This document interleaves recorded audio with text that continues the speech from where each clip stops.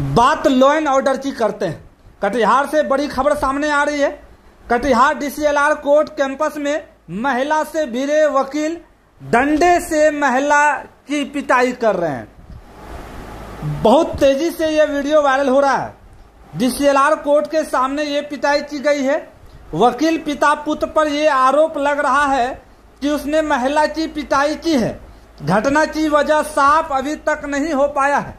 ये वीडियो जिसने महिला की पिटाई करते हुए वकील पिता पुत्र नज़र आ रहे हैं, पिटाई क्यों की गई है? ये तस्वीर अभी तक साफ़ नहीं हो पाई है। लेकिन इस वीडियो में आप देख सकते हैं कि पिटाई करते दो वकील नज़र आ रहे हैं। महिला को बेरहमी से पिटाई कर रहे हैं। आखिर इस वीडियो को देखकर आप क्या समझते हैं? कमेंट ज़रूर कीजिएगा।